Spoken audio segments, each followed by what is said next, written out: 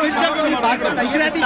भाई शांति नहीं। सुनवाई हुई किस तरीके से सुनवाई हमारे हमारी टीम ने जमानत और अपील दोनों पेश किया और जमानत और अपील पेश करने के बाद कोर्ट ने उसको एडमिट किया और जो बेल देना था कोर्ट ने बेल पास किया है। पंद्रह हज़ार का बेल दिया गया है। और 10 तारीख तक कंप्लेनेंट को अपना जवाब फ़ाइल करना है और 13 तारीख को आगे सुनवाई होगी। ठीक है? ओके सुनवाई जो है वो तेरह अप्रैल को होगी। नेक्स्ट अगली सुनवाई 13 अप्रैल को होगी। 10 अप्रैल तक कंप्लेनेंट को अपना जवाब देना है और आज कोर्ट ने राहुल जी को बेल पे फिर से मुक्त कर दिया है। अब उनको फिर से आने की ज़रूरत न्याय तेरह अप्रैल भाई मैं ही नहीं। सेंटेंस पे सुनवाई है। नहीं नहीं कन्विक्शन पे। सेंटेंस तो सस्पेंड हो गया। बेल बेल हो गया।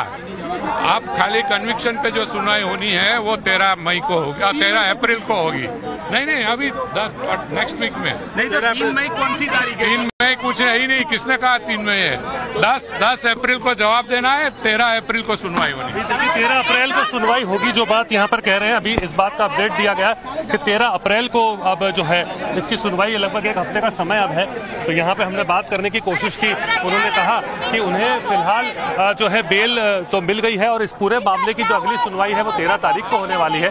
कोर्ट के कॉपी की ऑर्डर जब जब आएगा, पूरा ऑर्डर की कॉपी पूरी आ जाती है, उसमें हमें लगता है कि डिटेल में ये बात निकल करके आएगी, पर पीछे राहुल गांधी की बस अब निकलती हुई और यहाँ से एग्जिट लेते हुए, यहाँ से बाहर की ओर निकलते हुए राहुल गांधी उनके सहकर्मियों के साथ, उनके सहपाठियों के साथ, उनके सब पार्टी के कार्यकर्ताओं के साथ और पीछे उनके दो स्कॉर्पियो गाड़ियाँ, उसके पीछे पायलटिंग करती एक पुलिस की गाड़ी। तो यह कुल मिलाकर के अब तेरह अप्रैल, यानी कुछ ही दिनों बाद, एक के बाद एक एक के बाद एक, अब लगातार अपडेट्स आ रहे हैं और इन अपडेट्स के बीच में हमें देखना होगा कि किन धाराओं के तहत आखिर पूरी ये कार्रवाई की गई और क्या कोई डिसीज़न दिया गया। हमें कोशिश